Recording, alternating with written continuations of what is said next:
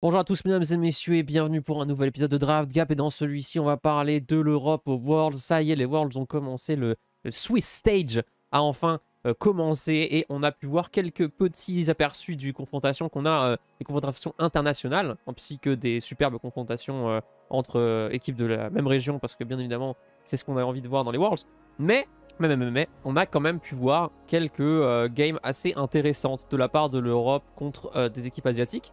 Et c'est sur, sur quoi on va se euh, concentrer aujourd'hui avec des games en BO1 du coup pour l'instant. Euh, on va pas encore analyser de BO3 mais en tout cas on va analyser déjà euh, des games spécifiques où l'Europe et du coup euh, les États-Unis aussi parce qu'on va aussi parler d'une game d'aînés.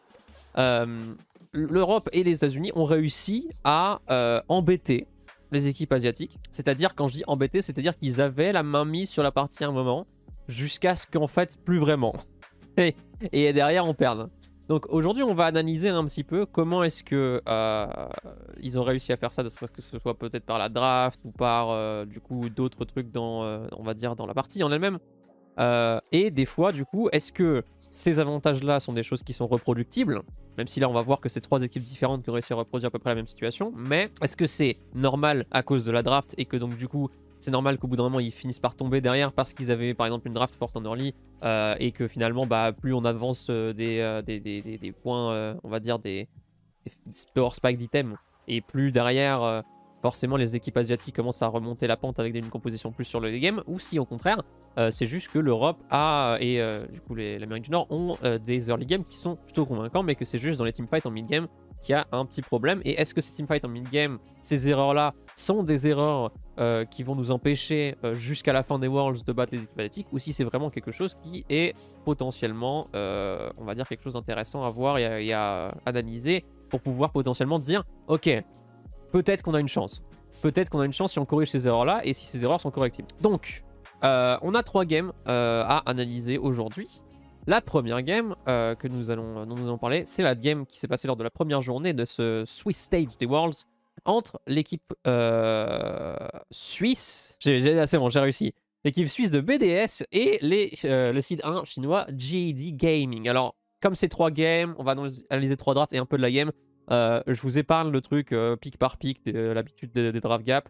Et on va analyser directement la draft terminée. Et avant qu'on commence, n'hésitez pas à mettre un pouce vers le haut si cette vidéo vous plaît et à vous abonner à la chaîne si vous voulez pas manquer les prochaines. Voilà, je, je, décide de les mettre maintenant. Maintenant, c'est euh, ces, euh, ces petits euh, avertissements parce que je pense que voilà, je, pense que c'est bien de vous le rappeler maintenant au cas où plutôt qu'à la toute fin où les mecs ont déjà cliqué en dehors de la vidéo. Bref. Donc, c'est parti, on commence. Alors, déjà au niveau des bans, très intéressant et c'est quelque chose que on va voir donc qui va se on va dire se répéter pendant pas mal de drafts. C'est cette priorité sur le ban de la Kalista spécifiquement. C'est très intéressant de voir ça parce que c'est un pic qui a pas encore été sorti pendant ces Worlds, si je me trompe pas. Je vais regarder pour être sûr. Euh, mais j'ai pas l'impression que ce soit le cas. Et... euh, Ah, excusez-moi, si, ça a été sorti trois fois. Excusez-moi, my bad. Alors, alors que j'enregistre cette vidéo, c'est-à-dire euh, juste après les, les matchs de, de la journée avec donc T1, euh, T1 contre Cloud9, NRG contre Mad Lions et BLG Fnatic, on a que... On a déjà trois games de Kalista. Euh, donc on a eu une game euh, donc de FBI euh, contre Weibo. Bon, on va peut-être pas la compter celle-là. On a une game donc de Yon, donc de Team Liquid contre NRG où ils ont perdu. Et on a une game gagnée de Ruler contre BLG dans leur combat en BO3. Donc on a vu quelques trucs. Alors le problème c'est que forcément on a eu un exemple de team asiatique qui jouait Kalista et elle a explosé la game. Et on a eu un exemple de enfin deux exemples de Kalista joués par des Américains et ils se sont fait exploser. Donc je peux comprendre le ban déjà parce que je me doute bien que s'il y a eu des scrims entre les équipes asiatiques et les équipes européennes, euh, déjà Kalista je pense que ça doit être le genre de champion qui excelle pas mal en scrim euh, par rapport à un truc des Worlds euh, parce qu'il y a peut-être un peu moins de pression et que c'est plus facile de jouer ce genre de champion mécaniquement très demandant. Mais du coup, vu que certainement que les Asiatiques ont dû exploser les Européens avec Kalista, euh, et que euh, du coup ils n'ont pas forcément envie de retenter l'expérience, surtout que eux de leur côté, quand ils essaient de jouer Kalista, bah ça marche pas de fou quoi. Euh, c'est un peu l'équivalent de Jace ou de Fiora, ce genre de pick, mais du coup pour les ADC, je peux, comprendre le ban. Après, la question c'est, ok, il vous explose en scrim, peut-être qu'il vous explose aussi en lane en, en, en 2v2, mais la question c'est, est-ce que c'est vraiment quelque chose qui est inéluctable ou est-ce que vraiment il n'y a pas une possibilité d'enlever ce ban pour faire autre chose quand même euh, même si c'est un truc que, effectivement, euh, évidemment, BDS peut pas jouer et évidemment, JD Gaming peut jouer. Mais ce que je veux dire, c'est euh, plutôt, est-ce que c'est pas mieux que Ruler obtienne Kalista plutôt qu'il obtienne genre Xayah, Kaisa, ce genre de truc? C'est la question que je pose. Parce que pour le coup, je me dis que effectivement, c'est un champion qui est très très fort en lane, mais une fois que tu sors de la lane, si le personnage a pas genre 25 kills, c'est un personnage qui perd très très rapidement en puissance et euh, qui devient assez facilement un creep mêlé quoi. Un creep range au moins. Allez, un creep range. Allez, un creep canon. Je donne, je donne. C'est, je suis sympa aujourd'hui envers Kalista, mais bref. Euh, bon, vous me connaissez de toute façon. Pour les gens qui sont déjà abonnés, vous savez que je tiens pas ce champion particulièrement à cœur et pour moi, la simple pique de Kalista euh, a été souvent la défaite de pas mal d'équipes, notamment même des, quand on remonte jusqu'au Worlds de l'année dernière. donc bon, on verra bien si c'est ces Worlds là c'est la même chose. Mais en tout cas, pour le Swiss Stage, pour l'instant, on est sur une victoire de 1 sur 2, mais euh, je ne pense pas qu'il faut prendre ça trop en, compte, vu qu'il euh, y a encore trop de disparités entre les équipes pour pouvoir dire euh, que vraiment une, game gagnée ou perdue d'un pick, c'est lié à la puissance du pick et pas juste à la meilleure équipe l'a pris. Quoi. Talia, je peux un petit peu comprendre dans le sens où effectivement, on a un. Gros gros client dans la personne de Knight. pas Knight, non c'est Diago. C'est Diago. Non, pas... non, je suis merde, c'est Knight, excuse-moi, j'ai mal regardé du coup. Ok. Parce que j'étais en train de regarder du coup entre JDG et BLG. Donc oui, c'est Knight. Effectivement, bon, Knight est un gros client de Talia. Après, la question c'est, encore une fois, est-ce que Talia est vraiment le meilleur pick en mid lane? Est-ce que vraiment Knight va se ruer sur Talia parce que c'est son meilleur champion et parce qu'il faut absolument euh, qu'il la joue, quoi? Euh... C'est la question que je pose me pose la question de si c'est pas mieux de, le laisser partir sur euh, d'autres pics euh, et que, enfin, justement, de le laisser, on va dire, pick Talia et potentiellement ban un autre truc un peu plus chiant à jouer contre. Euh, notamment les gros trucs, genre forcément les Xanté, les Jax, ce genre de trucs. Après, JD Gaming a pas l'air d'être autant prioritaire de Jax que d'autres équipes asiatiques, donc pourquoi pas, on verra. le ban de Kennen, par contre, je pense que c'est à peu près le même équivalent que Kalissa mais en top lane, c'est-à-dire les Asiatiques savent le jouer et pas les Occidentaux. Pour ce qui est de JD Gaming, on est sur des bans qui sont très euh, anti-européens. On va pas se cacher, c'est presque du racisme là. Euh, le ban du Darius, on voit que tu vois qu'il n'y a qu'une seule équipe dans ces Worlds où tu peux vraiment ban le Darius. Euh, tu as vraiment une légitimité de devoir ban le Darius et c'est bien BDS. Donc voilà, on sent que JD Gaming, il respecte quand même un poil BDS, même s'il banne pas tous les champions de dedans. Il banne quand même le Darius qui est son champion de loin le plus, le plus fort. Euh, derrière le ban d'Oriana, bon, qui n'est pas forcément un ban spécifique à l'Europe parce que le personnage est juste broken à peu près partout. Et euh, Maokai qui pour le coup lui est un bon gros ban européen parce que à peu près tous les junglers de l'Europe le jouent. Donc euh, ouais, et surtout que ça a l'air d'être une plus grosse priorité pour les Européens que ça ne l'est pour le reste du monde. Parce que si on regarde la match list de Maokai, on se rend compte que c'est beaucoup d'Européens qui jouent le personnage. Donc là on a, on a Contrax, Yaek, Yaek, on a eu un truc de Kanavi, un pic de Kanavi, un pic de Shun. Et derrière, euh, ou Dukshun, je sais pas comment on le dit. Et derrière, c'est Yaek, Sheo. Euh, alors, il y a eu Junjia, mais c'était sur PSG. Encore Sheo, encore Sheo. Bref.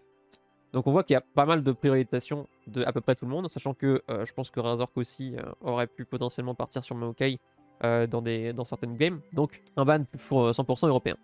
Derrière, on a le fameux Xayah Rakan qui va être une grosse priorité pendant ces Worlds et qui est récupéré du côté de BDS. C'est très intéressant d'ailleurs.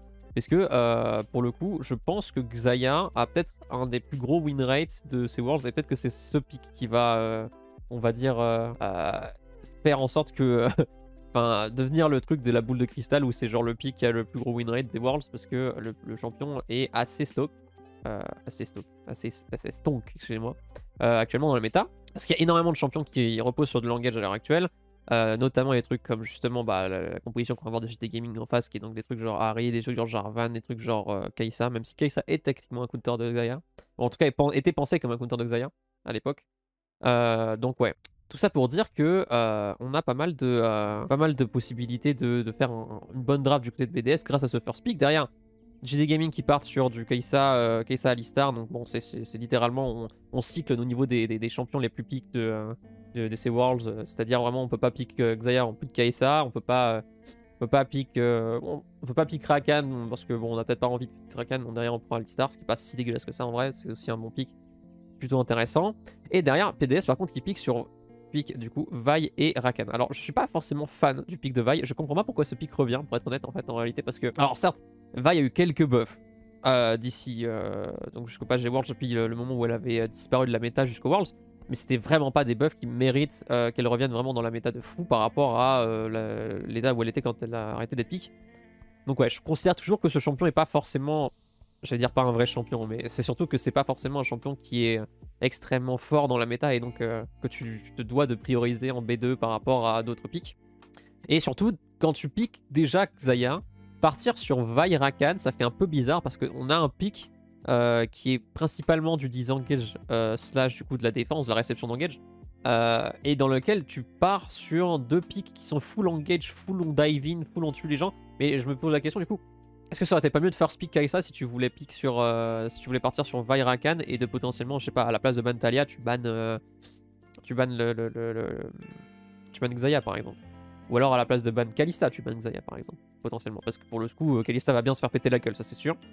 Donc ouais, un peu complexe. Derrière, ça pique sur Jarvan, euh, du côté de, euh, GG, ce qui n'est pas une si mauvaise idée que ça en réalité. Je pense que c'est plutôt bien trouvé. Et en, plus, grâce, à, grâce à BDS, du coup, ce pic va être encore plus amélioré. parce que on va avoir que des pics qui sont statiques en face. C'est-à-dire que, à part le, le, Rakan, qui est bon, de toute façon jamais une véritable target dans n'importe quelle équipe dans laquelle il est, et la vaille qui, euh, pour le coup, bon, a peut-être quelques problèmes pour sortir du pic de, euh, du, comment dire, du cataclysme de, Jarvan une fois que bah, le Jarvan est sur elle, quoi. Euh, et ben on a que des pics statiques. Ce qui veut dire que le Jarvan met un ulti sur ta gueule et si t'as pas de flash, normalement c'est mort instantané. Ça, sur, si on en plus rajoute le fait que c'est un champion qui a quand même pas mal de mobilité, quand même, Jarvan, en plus d'être assez tanky, relativement. Hein. Je vais pas non plus faire comme si c'était genre le, le, le, jungler le plus tanky du jeu, mais ça, plus euh, les, nombreux bonus qu'il peut donner au carry, notamment le buff de vitesse d'attaque avec son E, euh, le shred d'armor, euh, et du coup le cataclysme qui permet de, lock les cibles assez rapidement. Je trouve que c'est un pick qui est assez sleeper dans la méta, et je trouve que du coup le fait que pas mal de junglers, notamment les junglers asiatiques, le jouent, est potentiellement un révélateur de la puissance potentielle du pick. Mais on voit que déjà, il y a pas mal de, différences en termes de la méta européenne par rapport à asiatique, parce que pour le coup, Javan est vachement plus priorisé euh, au niveau des équipes asiatiques que euh, l'Europe, euh, notamment parce qu'on préfère des champions genre Maokai par exemple. Donc ouais, c'est des différences de style, mais je trouve que pour le coup, Jarvan, s'il est pique aussitôt dans la draft, c'est-à-dire le R3, il est potentiellement punissable parce que là, il nous manque encore deux champions du côté de BDS et que si BDS était parti sur des champions justement euh, un petit peu plus, euh, on va dire, euh, escape friendly, on va dire, notamment Milen, je pense qu'il y, a carrément possible de trouver des, des, des qui peuvent avoir un, poil de dash, quoi. Je pense pas que genre on, soit obligé de partir sur des trucs genre Azir qui du coup va être ban forcément, pouvoir faire des trucs. Est-ce qu'on a des trucs en dehors de ce vilain là, ça va poser, ou de cette vilaine Leblanc qui de toute façon s'est fait péter la gueule? Euh, Lissandra peut complètement fonctionner euh, à, la place de, à la place de Cassiopeia. Notamment si en plus tu l'utilises en réponse à la Harry qui va être sélectionnée de toute façon avant que ton millénaire soit sélectionné. Je pense que c'était une opposition plutôt intéressante de l'utiliser. Surtout qu'en plus c'est pas un, un qui est euh, complètement inutile contre Kaisa, bien au contraire, et qui aurait pu vachement être utile dans la composition BDS du coup. pour permettre de catch si c'est vraiment ce sur quoi tu veux partir, mais dans ce cas là ça veut dire que forcément tu laisses un peu la Xayah derrière, mais quitte à faire ça, autant partir sur une composition full engage si tu sais qu'en face ça va partir sur euh, des trucs genre Kaisa, ce genre de trucs. Euh, donc pas, euh, pas trop problématique. et alors il y a peut-être une Akali qui peut partir, mais je pense que c'est un peu trop tôt pour la donner en draft. Et contre la Harry, je sais pas si c'est vraiment un match-up que tu as envie d'avoir. Mais au moins ça pourrait être un peu plus évasif pour permettre des trucs. Surtout que en vrai, vu l'évolution de la draft de JD Gaming, à part du coup la Kaisa et la Harry, t'as 0 DPS. T'as as 0 DPS en face. Ce qui veut donc dire que euh, ben, si t'arrives à donc, réussir à tuer la, cible que t'as envie de tuer, c'est-à-dire soit la Ri, soit la, Kaisa, mais plus la Kaisa quand même, euh, t'as réussi ton job en fait. C'est-à-dire que t'as pas eu forcément besoin de faire grand chose, t'as gagné le fight à peu près grâce à ça. Euh, juste littéralement, littéralement, ce seul fait, juste ce seul fait, c'est t'as gagné la game direct. En tout cas, le fight déjà. Donc ouais. Euh, ensuite, on a le ban d'Olaf qui est un peu bizarre aussi, parce que, alors, certes, c'est effectivement un pic qui est euh, assez chiant à jouer quand tu t'appelles Alistar ou quand tu t'appelles euh, Jarvan sans son ulti, mais quand tu t'appelles Jarvan avec un ulti, c'est pas si problématique que ça d'avoir un Olaf en face. Parce que, encore une fois, tu peux l'empêcher de se foncer sur tes carries avec ton R, et il faut que Olaf garde son flash à n'importe quel moment possible, imaginable, s'il veut pouvoir passer le, cataclysme. Mais le truc, c'est que bah, si tu arrives à faire utiliser son, son, flash avant Olaf, euh, bah, comme l'ulti d'Olaf, Lolity. Le flash d'Olaf a un cooldown plus élevé que le de Jarvan. Bon, bah, ça va être un peu plus compliqué pour lui de jouer un fight sans son flash, quoi. Euh, parce qu'il peut juste pas arriver vers l'adversaire euh, s'il y a un Jarvan qui est à côté de lui et qui peut juste appuyer sur R et l'autre mec peut pas jouer, quoi. Donc, ouais. Je suis pas sûr que ce soit les meilleurs bans du côté de JDG. Du côté de BDS, je pense que c'est pas des bans trop compliqués, pas des bans trop chiants. La Nico qui est encore une fois un pick qui est aussi plus euh, désigné vers du coup, les équipes asiatiques. Et le Renekton par contre qui est surtout un, champion qui a matrixé les Européens quand même, j'ai l'impression, parce que c'est souvent un blind pick que les Européens adorent prendre. Résultat, on se retrouve souvent avec des drafts pas incroyables à cause de ça, parce qu'on se retrouve contre des Jax, des Xanté, ce genre de trucs, qui pètent la gueule de, de Renekton. en fight, on va dire, plutôt. Après, je considère que c'est pas non plus un hard, hard counter Jax par rapport à, contre Renekton, mais ça reste quand même un champion sur lequel on a vu que les Asiatiques pouvaient faire des trucs assez incroyables. Bref. Du coup, la Harry va être récupérée du côté de JD Gaming. Je pense que c'est pas une si mauvaise idée que ça. Euh, après, euh, encore une fois, on est sur une composition JD Gaming. Euh, qu'est-ce que tu cherches à faire? C'est-à-dire que si tu veux effectivement go in, parce que c'est ton truc, parce que tu as une Keisa, que tu veux go in, parce que t'as pas envie de la jouer poke, que tu as un Jarvan qui veut vraiment foncer sur l'adversaire, et que du coup tu piques la Harry pour go in aussi. Pour tenter un catch, en fait, on va dire. Euh, déjà, faire tout ça dans une Xayah, c'est un peu problématique, mais pourquoi pas? Parce qu'en vrai, on a eu ces deux pics-là euh, qui, empêchent un peu la, la, Xayah de faire son taf, si tu veux, parce que euh, vont pas d'une très très grosse protection. Mais dans ce cas-là, pourquoi tu pars sur Alistar en support? Parce que je, je, suis désolé, mais Alistar est loin d'être le meilleur champion pour Engage actuellement. je pense que j'aurais pris à peu près n'importe quel support en Engage à, la place d'Alistar. Les, les, plus gros pics possibles que je vois qui me viennent directement à l'esprit, évidemment, c'est le Nautilus. Euh, ou potentiellement la, la Léona. Elle est où? La Léona ici. Euh, parce que bah, forcément, c'est des champions qui peuvent aller de l'avant très rapidement, qui peuvent cesser des gens de très très loin, forcer potentiellement, par exemple, avec un grab de Nautilus ou avec un, Solar Flare de Léona, tu peux forcer un ulti Xayah et derrière go in avec la, la ou go in avec le Jarvan ou go in avec la Kaisa, ce genre de truc. Derrière, euh, comme on a utilisé tous les cooldowns du côté de la Xayah, on peut pas forcément faire grand chose derrière pour empêcher les langage.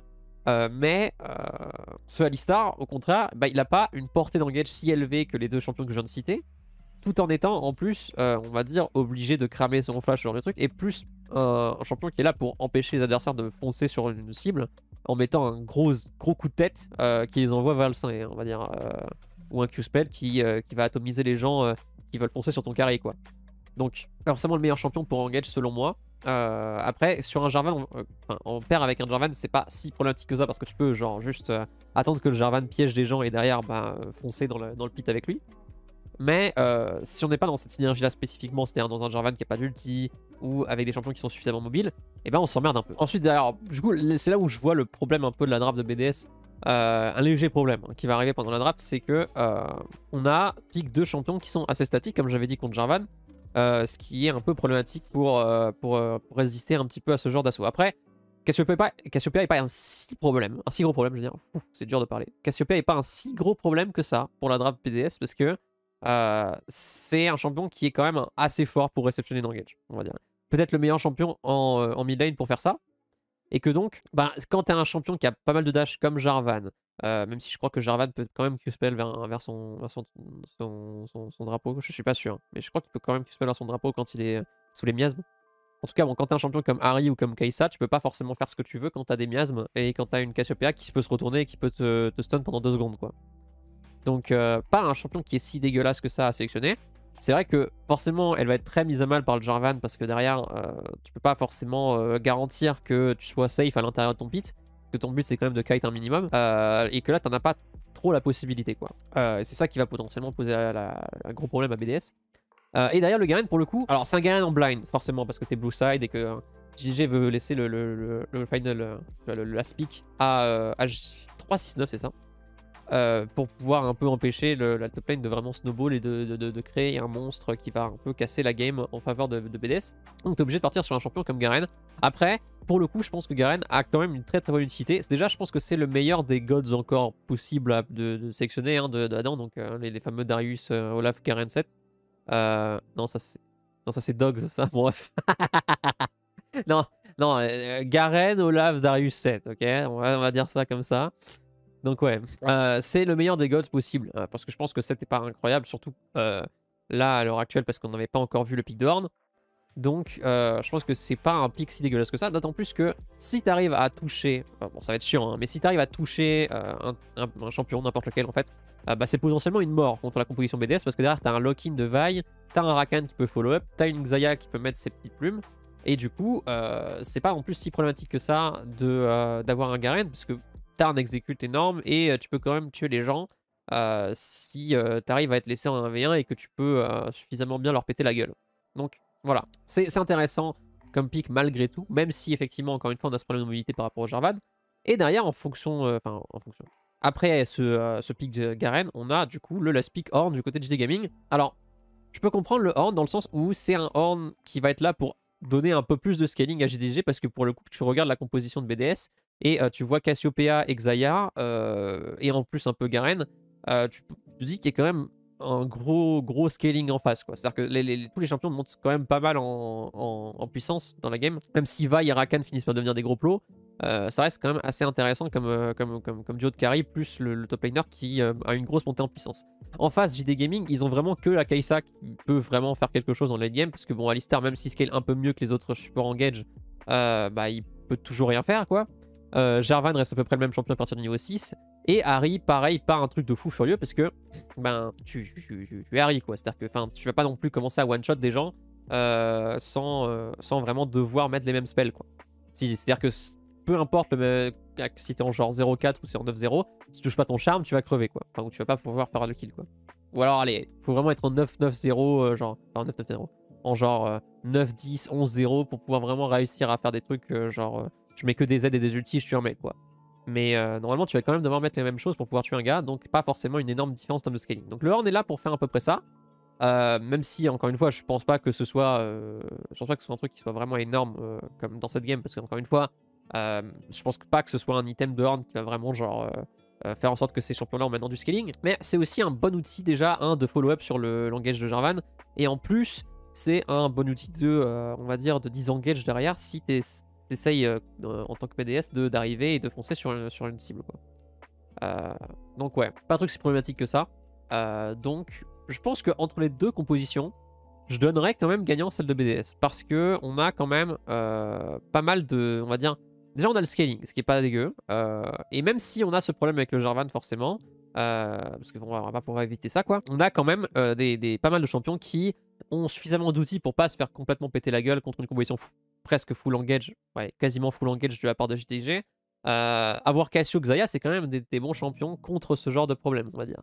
C'est juste qu'effectivement, on aurait préféré avoir un mid-jungle qui soit un peu différent en termes de thématique pour pouvoir un peu mieux counter la draft euh, des JDG, puisque là, on a deux champions qui veulent full go-in, euh, mais c'est pas du tout ce que cherche à faire la composition BDS. Voilà. Alors après, Garen, je pense que ça reste un personnage qui est relativement en isolation par rapport à une autre draft, et que donc c'est un peu compliqué de faire vraiment le, de, faire vraiment le, champion euh, le plus euh, puissant, on va dire. Euh. c'est vraiment, c'est pas, pas quand même, comment dire, c'est pas un champion qui va vraiment être dans un thème particulier. Il va quand même servir potentiellement quand tu seras en piège parce que c'est un de clic silence, on va dire. Donc c'est pas non plus un truc horrible à utiliser, notamment contre des trucs genre Harry et Keisa qui utilisent énormément leur spell. mais c'est pas non plus un champion qui a une grosse potentiel de défense. C'est un bouclier humain, quoi, on va dire. Euh, un gros bouclier humain quand même, parce qu'il a une Warmog intégrée quand même, le, le, Garen, mais c'est pas non plus euh, le meilleur pick possible. Quoi. Donc ouais, euh, je donnerais quand même la composition de BDS gagnante. Après, si on regarde les dynamiques de lane, je pense que Xayah normalement devrait quand même facilement tenir Kaisa Alistar. je pense que c'est à peu près even en mid lane, voire légèrement Harry favored, je pense, parce que Harry a peut-être un meilleur clear de wave. et par contre en top lane, c'est un homage, c'est Garen qui va à peu près péter la lane, mais c'est normal parce qu'on ne demande pas forcément à Horn de taper la lane en gros. Donc ouais. Alors du coup, comment est-ce que, euh, est que la game a fini par se, se, terminer, on va dire? Même c'est engagé également, parce que, alors pour le coup, on va aller assez rapidement dans l'early game, parce que pas forcément ce qui nous, ce qui nous intéresse, parce que ce qui nous intéresse, c'est surtout de savoir comment est-ce que... Euh, voilà, c'est un peu le rise and fall, mais on, s'intéresse plutôt à la partie fall, on va dire, euh, de la partie. Donc ouais, déjà on a une très bonne activité de la part de Sheo pour le coup, qui même s'il se fait un peu scout par Kanavi pendant toute la game, qui va un peu sur son, sur son dos, ce qui est intéressant ici, c'est qu'on a une ward qui est posée de la part de Kanavi, euh, qui est sur le, le, blue à peu près, c'est ça, exactement. Et à partir du moment où euh, Sheo passe de l'autre côté, on va dire, euh, on n'a pas forcément d'informations du côté de 369 sur si Sheo part quand même faire son gromp et par bot side derrière ou back, ou s'il part vraiment faire un truc en top lane. Euh, d'autant plus que, pour le coup, Kanavi, lui, il est occupé à faire le carapateur. Donc c'est vraiment un laps de temps pendant lequel Sheo a vraiment une possibilité. En plus, on a un gros crash de wave de la part de 369 qui ne peut pas forcément faire grand chose de plus. Là, il est un peu obligé d'accompagner sa wave parce que s'il se fait freeze sur ce timing-là, la game est un peu perdue, quoi. Et je pense que Kanavi aurait dû, on va dire, euh, reconnaître ça et qu'il aurait dû quand même euh, partir en top lane, ne serait-ce que pour permettre le crash de 369 avant de repartir sur le, sur carapateur, même si c'est pas, euh, si pas forcément genre le meilleur truc possible, parce que ben il a pas forcément grand chose d'autre à faire, parce que le reste des camps est globalement dans la jungle de Sheo, et même s'il perd ce crabe là, il a quand même le carapateur bot side de toute façon, s'il décide d'abandonner celui-là.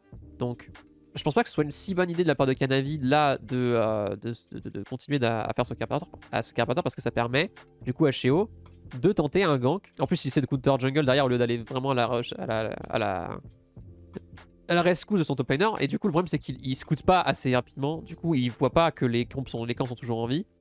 Et du coup, on a, le petit flash-in euh, de la part de Sheo, into flash-in de la part d'Adam, et First Blood récupéré, avec en plus une wave qui freeze. Donc c'est vraiment pas dégueu pour le coup de la part de BDS.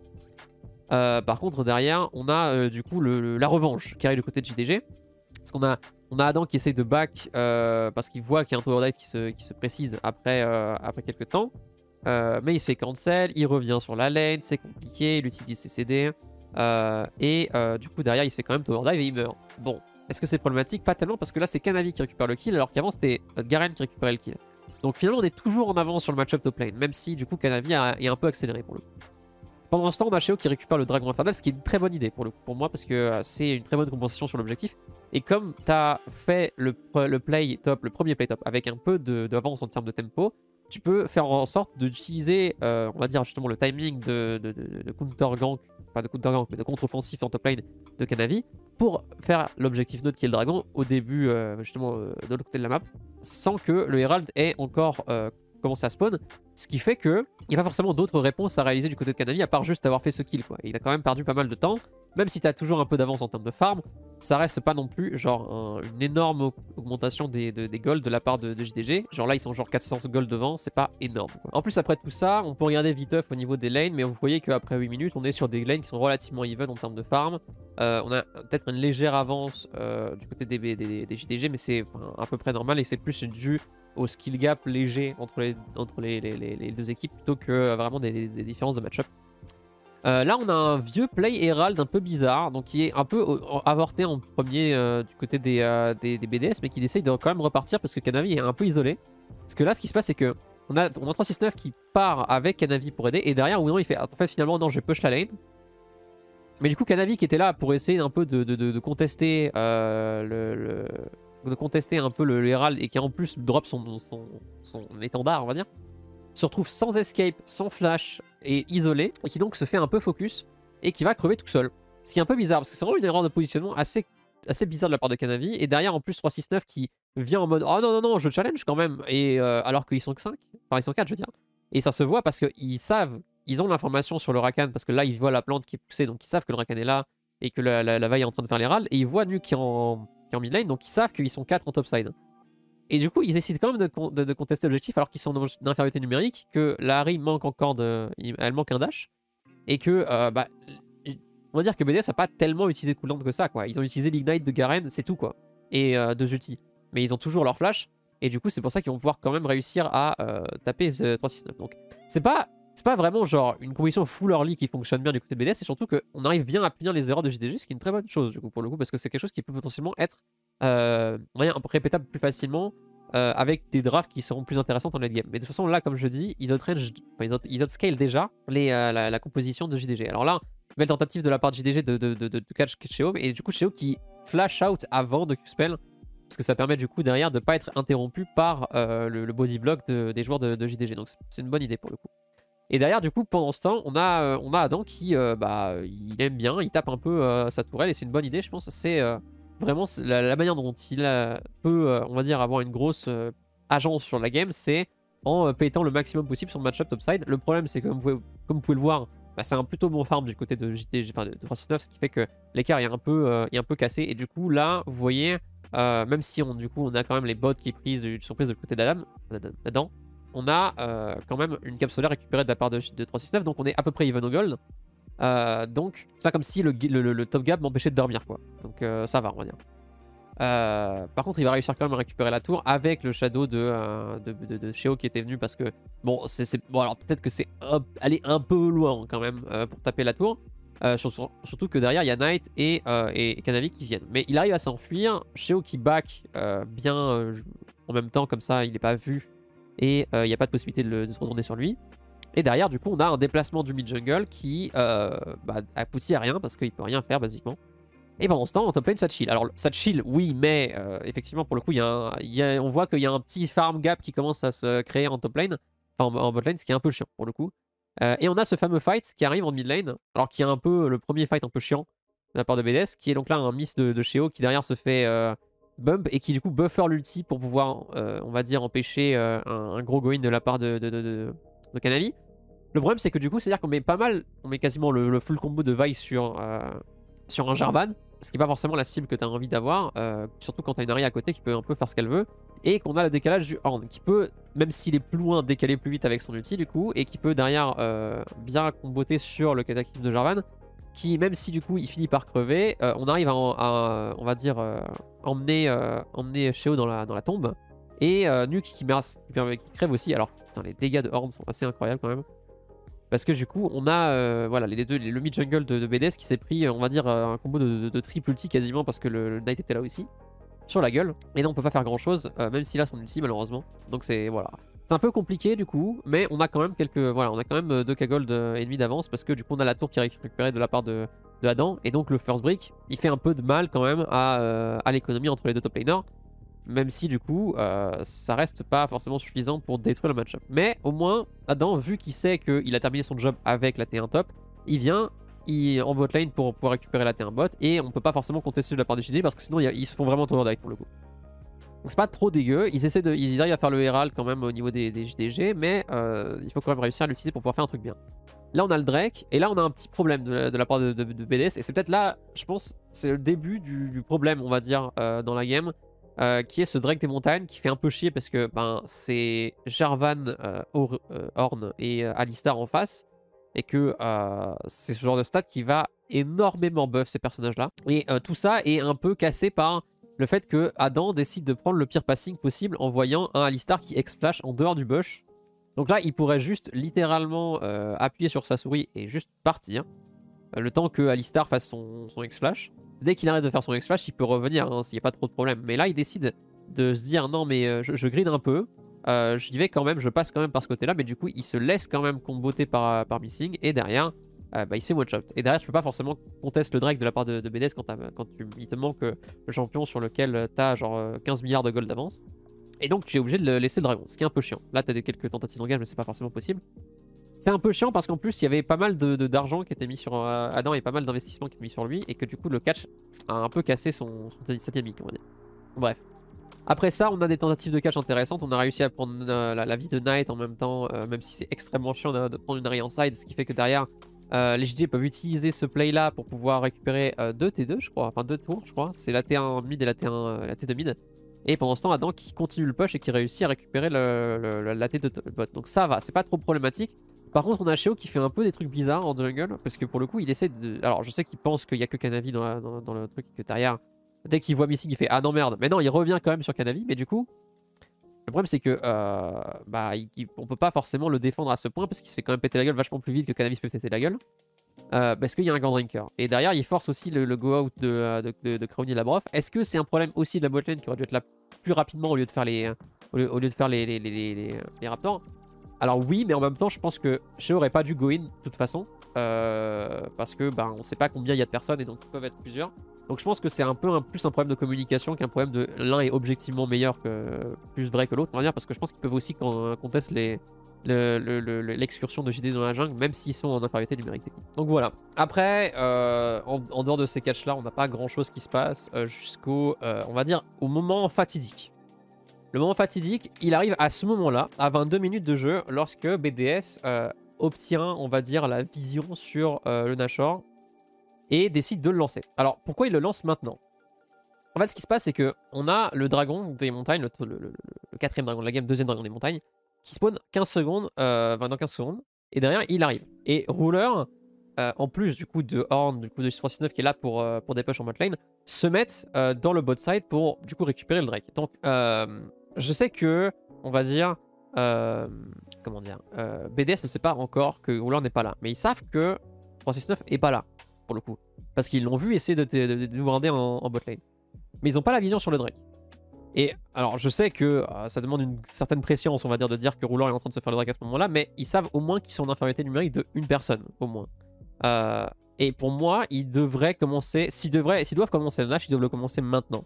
Parce que euh, justement, c'est le moment où on a, on sait pas si euh, il y a genre tout le monde chez JDG qui est euh, et que c'est quand même mieux d'essayer de tenter une incursion maintenant que maintenant que y a, on sait qu'il y a son père, en tout cas qu'il y a au moins une personne de moins, plutôt que de, de, de, de, le tenter après, quoi, on va dire. Et pour le coup, on a cette tentative de Drake. Et derrière, Sheo, qu'est-ce qu'il fait? Il, va dans le jungle, il fait une excursion. On voit qu'ils sont genre 5 et que même si Adam et, et sont un peu loin, ils peuvent quand même venir plus rapidement que les deux autres euh, membres de, de JDG. Il décide de quand même se barrer. Et du coup, il est un peu bizarre parce que derrière, Canavi se barre aussi parce qu'il sait qu'ils sont en infériorité numérique, qu'ils peuvent pas forcément faire grand chose. Mais du coup, derrière, on a le, Drake qui est récupéré. Et là, on a l'information. BDS a l'information qu'il n'y a plus de Drake et qu'ils ont utilisé, que Xayah l'a buté. Je, crois, je sais pas s'ils savent que Xayah l'a buté, mais en tout cas, voilà, ils savent qu'il y a un qui sous roche. Et derrière, ils décident de, de maintenant. Alors que c'est le moment où les, les, JDG sont revenus, en fait. C'est-à-dire qu'ils sont repartis. Là, ils commencent le Nash au moment où ils voient que la Kaisa est en mid lane en train d'essayer de, de dépush les waves et qu'il y a genre rien à prendre et que genre juste elle va mettre un Q-spell, une auto-attaque sur la wave et puis c'est fini quoi. Mais il décide quand même de Nashor. C'est un, bon, un call de merde, logiquement, euh, même s'il tape le Nashor très très vite pour le coup. Euh, parce que JDG arrive à se, ressembler, à se rassembler assez vite. Et Adam, pour le coup, est pas forcément vu. Mais, du coup, qu'est-ce qui se passe? Euh, On a Ruler, avec, on a une grosse caméra sur Ruler hein, derrière, qui va faire check le bush. Et il qui se prend Ignite Full Going. Et alors, comment ça s'est passé pour que Ruler Attends, parce que... Ah, ok, d'accord. Donc, en fait, ce qui s'est passé, c'est que Ruler a instant cleanse le silence de, de, de Garen et c'est instantanément dash vers le mur. C'est un truc incroyable quand même. Roulard, c'est vraiment l'un des meilleurs joueurs du monde quand même. C'est un truc de fou furieux. Genre, c'est rien que cette action-là, c'est un truc qui te montre que tu peux pas l'avoir avec euh, juste un fléché comme ça. C'est assez fou quand même. Bref. Du coup, Adam qui, bon, il est un peu obligé de flash out, mais à la limite, ça va. C'est pas trop problématique parce que c'est Garen, il régène, il a pas forcément besoin de back. peut, on peut attendre quoi. Euh, mais il décide de quand même back, si je me trompe pas. Tout le monde back du côté de BS, ce qui est un peu bizarre. Parce que du coup, Derrière JDG, ils font bah d'accord, mais ok, on a utilisé, euh, on, a, utilisé la cleanse du côté de et du côté de rouleur, mais en vrai, nous on a, on a rien perdu. Donc on, les empêche de, de, contest et hop, on, bah, on fait le on fait nous-mêmes quoi. Et le problème c'est que du coup, BD sont très très loin déjà. Et il y a Sheo qui décide de faire un truc bizarre parce que là son équipe est même pas encore là pour contest et il décide de déjà passer à travers le mur alors qu'il pourrait passer vers le bush pour pouvoir voir derrière par, euh, ce côté là. Et derrière d'essayer de passer par derrière. Il veut essayer de, de, de flank les, euh, JDG en genre passant comme ça et va pouvoir passer pour le. essayer de, se mettre à travers le mur comme ça. Mais ça, c'est un truc que tu fais en dernier recours quand t'es genre à 0 euh, ou ce genre de truc. Mais là, euh, ils sont genre devant dans la game. Et je, je, comprends pas pourquoi est-ce qu'ils pensent qu'ils sont derrière dans la game et qu'il n'y a aucune possibilité de teamfight alors que c'est complètement le cas quoi. Genre, ils peuvent complètement tenter un teamfight front to back en voyant que les JDG essaient de faire des trucs. C'est pas comme si les JDG ont une capacité de, euh, de disengage ou euh, de, temporisation qui est énorme, quoi. Donc, du coup, le problème en plus, c'est qu'il il a pas le flash encore, donc il peut pas flash out missing euh, qui, se, qui lui combo la gueule. Et qu'il a plus de Q-spell. Ce qui fait que du coup, bah, c'est un peu bizarre qu'il s'approche à ce point du, du bush. parce que du coup, derrière, il se fait bah, full go in. Et derrière, on est en 4v5. Et là, on est dans la même situation qu'avant mais on a plus de jungler. Et pour le coup, bah, vu le peu de temps qui restait au flash de Sheo, je me demande pourquoi est-ce qu'il tente un play maintenant alors qu'il a récupéré son flash dans littéralement 10 secondes. Mais bref, du coup, on a à peu près la même utilisation, on a à peu près la même action qui se passe. Sauf que là, on décide quand même, du côté de BDS, de contester Snatcher. Alors, je pense pas que c'était nécessaire, encore une fois. Euh, parce que, pour le coup, euh, ah ok, ils ont de Nashor, c'est chiant, très bien mais tu peux encore temporiser un peu la game. T'as pas, genre, tu vas peut-être perdre, euh, genre, euh, peut-être genre les deux T2 et une T1, mais c'est pas non plus genre euh, un si gros problème dans ce cas-là entre guillemets, parce que t'as quand même un, scaling supérieur. Donc si t'arrives à temporiser un peu la game, tu peux quand même survivre. Et là, s'ils font de la charme maintenant, le JDG, ça prolonge pas sur le Drake. Donc ils ont quand même la possibilité de se battre sur le, le, le, quatrième Drake. Quoi. Et je pense qu'ils ont une plus grande chance de gagner en teamfight en 5v5 dans 3 minutes euh, sur le Drake des montagnes, le dernier Drake des montagnes, après le Nashor même, euh, qu'ils en ont euh, de gagner maintenant en 4v5 euh, alors qu'ils sont pas encore en leur scaling. Et par contre, du coup, ce qui se passe, c'est que là, alors certes, on n'a pas le flash du côté de Crowny, effectivement, mais euh, peut-être que le positionnement était un peu à revoir. Parce que du coup, euh, il y a 3-6-9 qui euh, est en train de se faire un peu semi-catch par la brove, et du coup, Crowny, il s'avance vers le rocher de Horn, et il se fait bump. Alors que t'as un ulti de up, et je me dis, mais ok, alors je sais que je demande quand même beaucoup à des joueurs et tout ça, mais le CC, vers le E de Horn, la charge de Horn, max range sur son pylône, c'est quand même l'un des CC les plus lents de l'histoire des CC quand même. Donc, je pense, je pense que c'est pas, c'est pas genre énorme et inhumain que de demander que une Xayah, euh, on va dire, ulti ce genre de tentative de bump de 369. Après, même au-delà de l'ulti, je pense que c'est pas un super bon positionnement parce que tu devrais de toute façon euh, te positionner, on va dire, un petit peu plus vers le centre du pit, c'est-à-dire à peu près là. Parce que déjà, tu peux taper un peu plus le Alistar et tu restes quand même à portée du, du horn. C'est que tu as quand même des possibilités de, de- de- faire des kites euh, derrière. Et tu limites tes- les possibilités de te faire engage. Parce que si tu te mets, on va dire, euh, là ou là, justement, comme il se met, euh, vu que Missing a toujours un, flash, euh, rien ne l'empêche de quand même flash in et te combo in. Et rien n'empêche euh, 369 de juste te foncer dessus pareil. Donc là, au moins, en te mettant ici, tu sais que 369 il est obligé de s'avancer pour pouvoir tenter un bump sur le mur derrière. Et même à ce moment-là, ça se voit un peu quand même et euh, t'empêches un des gros hard CC qui font que tu peux crever quoi. Euh, D'autant plus que bon, en vrai, de toute façon, le, le call en lui-même est déjà un peu cassé parce que là ils sont déjà plus qu'à 1800 sur le, sur le baron et que la dernière ils ont juste à utiliser un dash euh, et se barrer. Mais au moins, euh, je pense que ça aurait permis de pas forcément faire la suite du fight parce que là derrière, Missing il flash, il in en réponse au, au bump qui tout et qui connecte. Et derrière, on a à peu près la totalité de la planète qu'ils font sur, sur, sur. Il se fait one tap. Et bah à partir du moment où il te manque encore un carry, là il y a le. Il y a le, le Lucid Jarvan qui bloque Adam, qui peut pas forcément faire grand chose, même s'il se bat, euh, il peut pas faire grand chose. Et en plus, son ulti ne tue même pas Kanami, malheureusement. Et Nuke qui est un peu tout seul, et euh, il peut pas forcément faire grand chose. En plus, il, tente un truc, c'est ça. Il tente le flash in.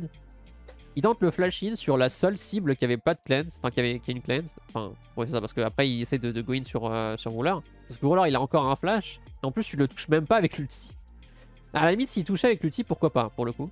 Ouais, c'est dommage, parce que pour le coup, si, si flashait genre là, euh, il, le touchait. Et, euh, et peut-être que c'est un fight différent. Mais non, c'est pas un fight différent, mais au moins il, en- il emporte un mec dans la tombe, quoi. Euh, mais là, le problème, c'est que du coup, il loupe son flash et derrière, il est un peu tout seul, quoi. Et il se fait, il se fait tuer. Et là, à partir du moment-là, c'est un peu finito. Mais on se dit, bon, pourquoi pas hein. Allez, même avec l'âme. Imaginons, on leur laisse l'âme, on leur laisse les, les, les, les tours à l'extérieur, ce genre de truc. Même avec ça, le scaling de, la tombe BDS, il est quand même puissant, quoi.